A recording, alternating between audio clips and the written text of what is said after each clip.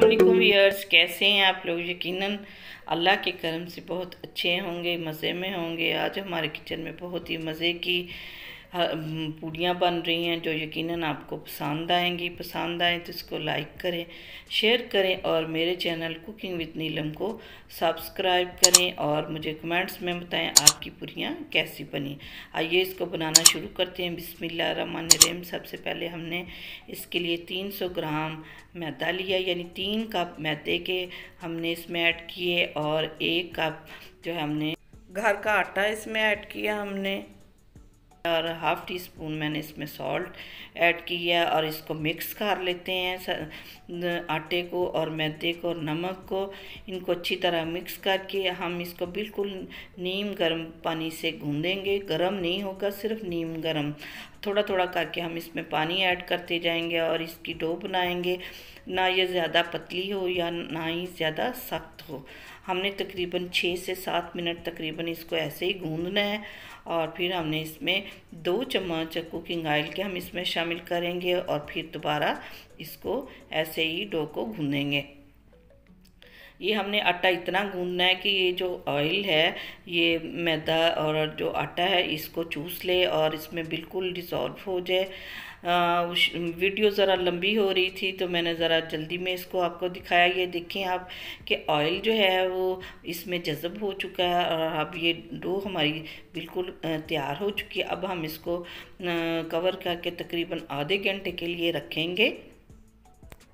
आधे घंटे के बाद हम ये देखें, आधा घंटा हो गया, इसको दोबारा हम सेट करते हैं थोड़ा सा इसको गूंदना। ये ज़रूरी है कि ये मज़ीद, इसका टेक्सचर जो है, वो बेहतर हो जाए।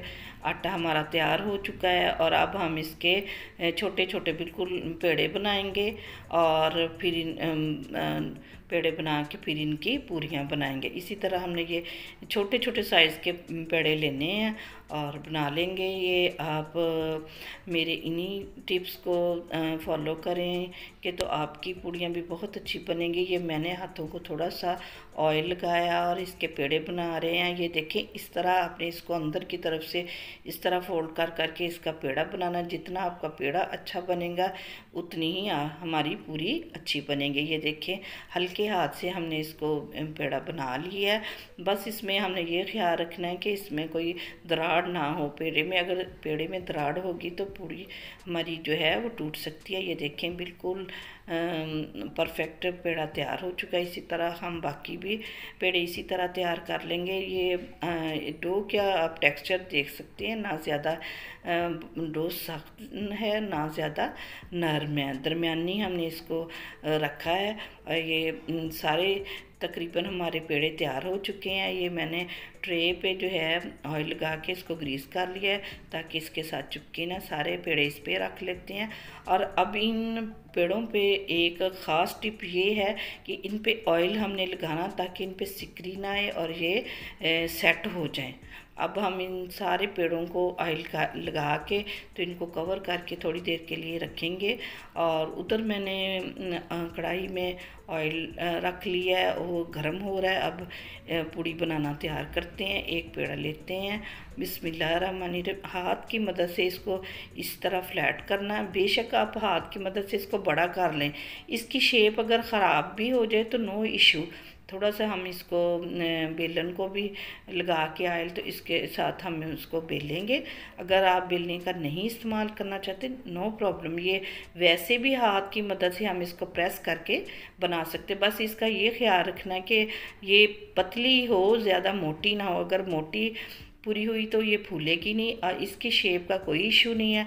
ये हाथ की मदद से भी आप इसको ऐसे ही प्रेस करके बना सकते हैं। ऑयल तकरीबन मैंने रख लिया है और वो गर्म हो गया है। ऑयल के लिए ये टिप है कि आपने इसको ठंडा अगर होगा तो आपने पूरी डाल दी, वो ख़राब हो जाएगी, घी चूस लेगी और घी का ये ख्याल रखना कि बिल्कुल उसमें से धुएँ निकलते हों। ये मैंने पहली पूरी डाल दी है और ये हमने डालते ही हमने इसको चम्मच की मदद से इसको प्रेस करना। जितना हम इसको प्रेस करेंगे नीचे का, ये देखें माशाल्लाह, अल्हम्दुलिल्लाह, पूरी हमारी कितनी फूल चुकी है। इसी तरह हम बाकी भी तैयार कर लेंगे। ये देखें इस तरफ़ से भी ये हो गई है, पक गई है। तो अब हम इसको निकाल लेंगे। इसी तरह अब हम दूसरी पूरियाँ भी बना के आपको दिखाते हैं। माशाल्लाह, अल्हम्दुलिल्लाह, पूरी तैयार हो चुकी है। ये हम दूसरी भी तैयार करके आपको दिखाते हैं। ये मैंने सारे हाथ की मदद से ऐसे प्रेस करके ही बना ली है। इसकी शेप ख़राब भी हो जाए तो कोई नो इशू। दूसरी भी हम इसमें ऐड करते हैं। बस जो ही हमने डाल लिए इसको चम्मच की मदद से ऐसे नीचे को प्रेस करना है। तो ये पूरी फूलेगी बस घी का टम्परेचर का ख्याल रखना है कि इसको आपने बिल्कुल गरम, फुल गरम हो, जैसे धुएँ निकलते हों, और फिर दरमियानी आँच कर लेनी है। ये देखें, दूसरी पूरी भी फूल चुकी है, माशाल्लाह, अल्हम्दुलिल्लाह। ये देखें, इसकी लुक देखें, कितनी फूली हुई है, और इसको ज़्यादा ओवर कुक नहीं करना।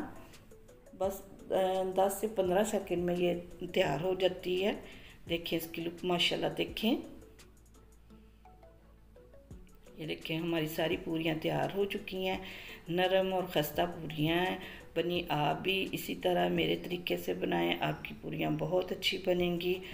पसंद आए तो इसको लाइक करें शेयर करें और मेरे चैनल कुकिंग विद नीलम को सब्सक्राइब करें और कमेंट्स में मुझे बताएँ कि आपकी पूरियाँ कैसी बनी। ये मैं आपको तोड़ के दिखाती हूँ। ये देखें, ये कैसे, कितनी सॉफ्ट है और कितनी खस्ता है।